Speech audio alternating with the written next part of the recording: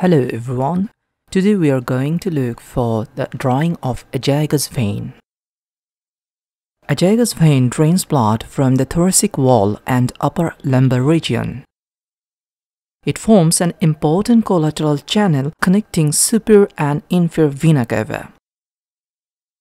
It serves as the main collateral channel to shunt blood from the upper half of the body to inferior vena cava in case of superior vena caval obstruction.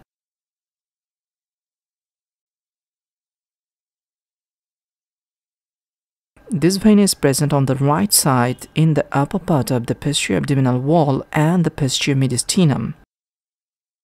The vein may be tortuous and has got some valves. The azygos vein is formed by the union of right subcostal and right ascending lumbar vein at the level of thoracic 12 vertebra. It may also arise from the posterior aspect of the inferior vena cava near the renal veins.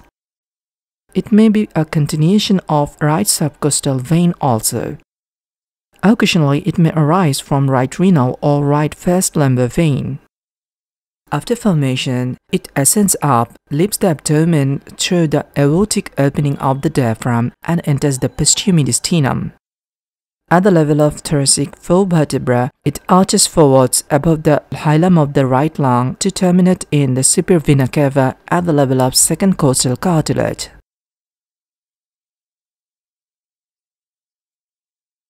The azygos vein has got some tributaries such as lower 7 right posterior intercostal veins except the first, right superior intercostal vein, hemiazygos vein and accessory hemiazygos vein, right subcostal vein, right bronchial vein, right ascending lumbar vein, esophageal veins with the exception of those at its lower end, mediastinal veins and pericardial veins.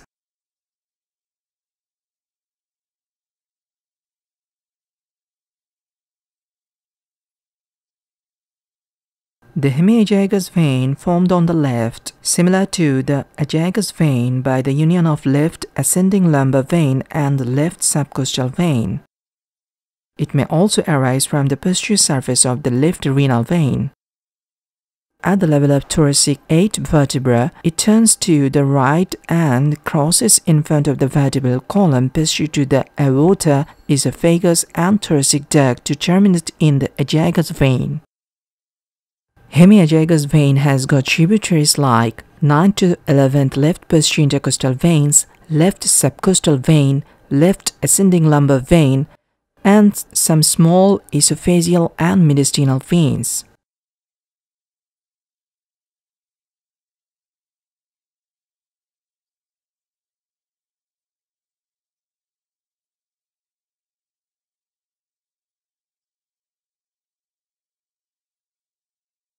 The hemiazygos vein also lies on the left side and corresponds to the upper part of the azygos vein.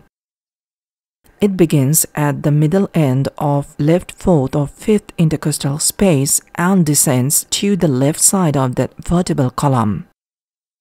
At the end of thoracic 8 vertebra, it turns to the right, passes in front of the vertebral column posterior to the aorta, esophagus and thoracic duct to terminate in the azygos vein.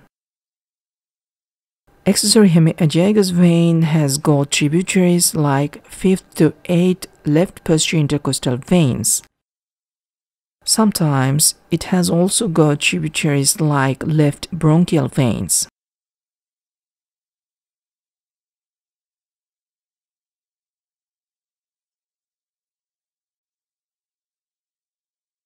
For more videos like this, please consider subscribing this channel.